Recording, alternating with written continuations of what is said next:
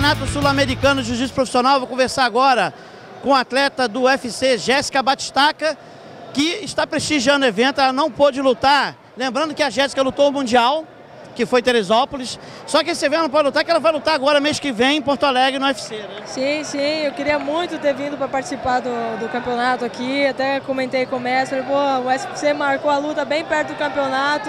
Queria participar, mas né, agora vamos focando na luta do UFC, dia 22 de fevereiro, em Porto Alegre, se Deus quiser ganhar mais Tudo certo, né? Sim. Você tá falando assim, você começou a primeira luta na Inglaterra, você sentiu lá, a, foi nos Estados Unidos, né? Estados Unidos, a primeira nos Estados Unidos. Aí você sentiu lá a pressão, né? Como é que é? Você é um atleta aqui no Brasil, aí a gente sabe a realidade brasileira, até dos eventos de MMA aqui, né? Agora esse impacto de você sair assim, do anonimato, que é um campeonato que você lutar um, um jungle fight aqui, por exemplo, você fica famoso aqui, mas é um anonimato, não, ninguém te reconhece na rua. Você sair para um UFC, o que, que isso mudou a tua vida assim? Acho que muda em tudo, né? Tanto em salário, né? E, e a, em patrocínio também, que a galera apoia mais, ajuda mais. E é divulgação também, né? Eu acho que a minha imagem agora aparece bem mais do que antigamente. Então, graças à equipe também, ao Mestre Paraná, PRVT, porque sem eles hoje eu não estaria no UFC. Foi um trabalho muito bem feito por ele. E assim, é, é, muito, é muito bom estar lá, porque eu, às vezes eu estou passando aqui e a galera, pô, olha a Jéssica, vamos tirar uma foto. Tipo, é, é muito bom ver que as pessoas reconhecem o nosso trabalho e reconhecem a gente. Você é tímida? Ah, um pouco. Eu vi que você chegou aqui, estava sentada ali, eu mesmo que conheço você, eu passei. Aí depois eu falei, Jéssica que está ali, você fica quietinha ali, você não na sua, né? Sim, eu sou bem tranquila, graças a Deus eu não sou de ficar aparecendo muito. A tá fazendo homenagem ali aos mestres, é, ia anunciar você ali, acabou que passou batido. não, mas sem problema nenhum. O que vale, o que vale até aqui é participar. Vocês falaram, chamaram o meu mestre, pô, chamando ele, tá me chamando, acho que a gente é uma família. Quando entra um PRVT aqui, entra todo mundo junto. Você ainda torce pelas meninas da equipe, pelos garotos também? Sim, sim, torço muito. Inclusive agora a gente está fazendo um camp feminino em Rio das Ostras, que a gente está com 17 meninas só lutadoras, acho que é o maior camp feminino que já teve na história, de só meninas que lutam. E, pô, elas estão me ajudando muito. É, o camp foi feito para elas, mas aí já aproveitando a minha luta, né? Então já embalei junto com elas. Mas assim, eu torço muito para elas. A gente está com uma menina no Invicto agora, que é a Mariana. Pô, eu estou muito feliz. E tenho certeza que vão da, da nossa equipe, não só daqui do Brasil também, vão sair muitas meninas ainda para o UFC. Jéssica, estamos a, sei lá, 30 dias da luta.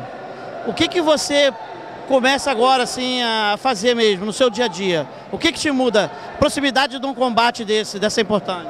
Dessa importância? É, geralmente quando vai chegando perto assim da luta, a gente vai focando bem mais nos treinos, né? Então eu estou treinando três vezes por dia, eu faço preparação física de manhã, às vezes faço subida nos morros para poder pegar resistência e força. Esse cara aqui de Niterói ali, Parque da Cidade? Sim, sim. Ah, já, agora a gente vai vir essa semana aqui treinar boxe, então é, a gente está focando bastante na parte de sparring e na parte do gás, para não entrar lá dentro, conseguir fazer os três rounds se for necessário e o mesmo gás sempre. Peso para você é dificuldade ou você consegue manter na boa? Não, graças a Deus, peso nunca foi, nunca, nunca foi dificuldade, que eu sempre estou com 64, 65, para baixar para mim é um são 3, 4 quilos, então eu fico é sempre... É mais fácil, né? Porque tem gente que deixa para baixar muito forte tem casos de atletas de chegar no, na hora da luta, é, desmaiar não conseguir lutar, né? Sim, é que é, o desgaste é muito grande, né? Geralmente a galera abaixa de muito peso, 10, 15 quilos. Muita água que perde. Sim, e não consegue recuperar. Então entra pra luta, não entra com 100%, né? Entra com 60%. Aí faz um round já tá morto, já tá desgastado. Quem que você vai enfrentar lá em Porto Alegre? Vai ser a... Também agora deu branco, por isso que eu te perguntei. Marion. Marion. Já, já estudou ela? Como é que... Sim, já estudei. Ela é uma, uma, Além de ser faixa marrom, né? É uma lutadora muito boa também. Ela anda sempre pra frente. Ela já acabou de lutar esses dias agora aí no UFC 182 do John Jones. E, e acabou que o UFC, como ela tinha ganhado, chamou ela para lutar comigo, ela aceitou. Mas ela é uma atleta muito boa, caminho daqui pra frente, tem uma trocação boa, acho que a gente vai conseguir dar um show pra galera lá. Aquela época de você chegar pra lutar e ninguém saber nada de jiu-jitsu acabou, né? Acabou, acabou, isso não existe mais. Hoje, e também já não é tão fácil mais colocar pra baixo, né? Hoje em dia todo mundo sabe fazer uma defesa de queda bem, sabe se virar bem no chão. Então, pô, tem que ir preparado para tudo, né? Se não conseguir fazer em pé, põe para baixo, se não der embaixo, bota para cima. E até tanto jiu-jitsu desse último que teve agora, te, preferindo trocar mais em pé, né? Em vez de levar para o chão, sentiu dificuldade ali. Tá mudando a tática do brasileiro agora, né? Sim, estão mudando, porque o, o pessoal tá, já está se especializando, né? O jiu-jitsu nunca para de crescer, né? Sempre está evoluindo. E aí a galera, mesmo que seja o ponto forte deles, eles estão vendo que não está mais fácil do jeito que era Você antes. começou no Muay Thai, no Jiu-Jitsu? Eu comecei no Jiu-Jitsu. Comecei no Jiu-Jitsu, eu fiz sete meses de Jiu-Jitsu para fazer minha primeira luta de MMA. Mas eu nunca tinha feito Muay Thai, nada. Comecei mesmo no Jiu-Jitsu. As minhas seis primeiras lutas foi só treinando Jiu-Jitsu e uma semana antes treinando Muay Thaizinho, assim. Tá legal então. Quer agradecer algum patrocinador que está te apoiando?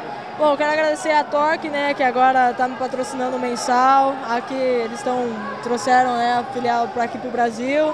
E, pô, muito obrigado mesmo. Quero agradecer o mestre Paraná também, que é o meu mestre, a minha equipe toda. E falar também que no próximo, no próximo Sul-Americano, no próximo brasileiro, nós vamos estar aqui em peso. Com certeza vamos trazer uns 100 atletas aí. No Mundial vai ser, nosso em agosto vai ser em Vitória. Não sei se você vai ter luta. Mas vamos torcer para você ir lá, né? Se Deus quiser, não vai ter luta e eu vou participar desse. No Mundial vai ser em Vitória no mês de agosto. Tomara que seja que a gente vai mandar fazer um cinturão caprichado lá e botar em jogo lá, né?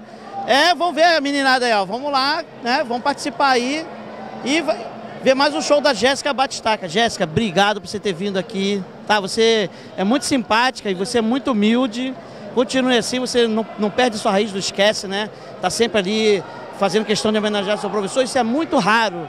Ainda mais agora, né, que o MMA estourou. E eu sei que vocês, quando você passa aí para o UFC, você é, é, o, o, pessoal começa a procurar muito você e, e, é todo mundo de tudo quanto é canto, você nunca ouviu falar, e jornalista e coisas importantes. Né? Mas continue assim, né? Que tá dando certo, né? Graças a Deus. É, é o que a galera sempre diz, né? Quando você ganha, é, o glamour, tudo vem para o atleta. E quando você perde, vem para o seu treinador. Mas eu, eu sempre gosto de falar muito do meu mestre, porque sem ele hoje eu não estaria aqui, né? E a gente tem que ter, tem que ser, tem que ter sempre né, esse, pô, ele é mais graduado, ter esse respeito, não só dentro do tatame, mas na vida e fora. Obrigado, então você é um grande exemplo aí. É isso aí, Jéssica Batistaca aqui no Campeonato Sul-Americano de Jiu-Jitsu Profissional, diretamente do Ginásio Canto do Rio, em Niterói.